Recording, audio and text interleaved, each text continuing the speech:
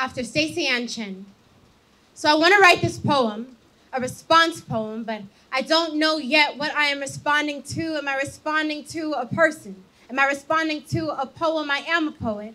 The first time I performed, I was a teenage girl, and people, and by people, I mean y'all, give teenage girls a lot of shit, no matter how many of them grow up to march in the streets for motherfuckers who still can't even manage to vote with us or for us. I cried three times in one night last week. The first, about a man. The second, about two men. The third, about an army of men. If my tears are a response poem, can you tell me what they are responding to? Are they responding to an opinion? Are they responding to a circle jerk? Are they responding to the weaponization of our wombs? I was raised half Catholic. Went to Catholic school as a teenage girl. I was confirmed, but I am not committed, though there is a patron saint of teenage girls. Her name is Maria Goretti, one of the youngest saints to be canonized. When a man tried to rape her, she begged him not to, said it would be unpleasing to God, said she would rather die, so he stabbed her to death. Maria was canonized as a virgin martyr, not for her compassion, but for her purity, because this is what the church chose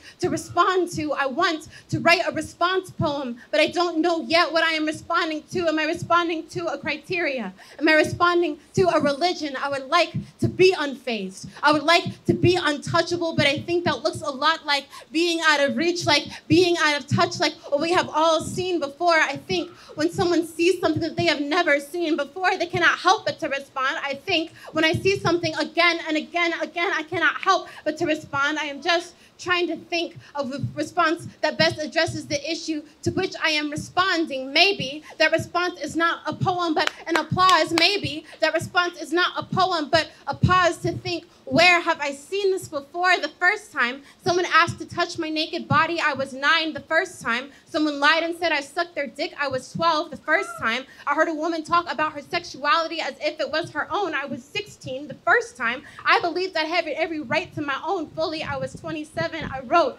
a poem celebrating the reclamation of sexual pleasure, but left before I could hear the response poem. Spoiler, I've been hearing that response poem my whole life. Synopsis the appraisal of a woman's body is yours to do with what you will, and you are entitled to treat us accordingly. Summary, you can't respect us anymore if or after we let you nut inside of us. But the first time, I learned there is a word for when someone has sex with you and leaves something behind as if it is yours to carry. I was 10 in health class. I'm just saying, maybe you should get yourself checked, or in other words, check yourself. Check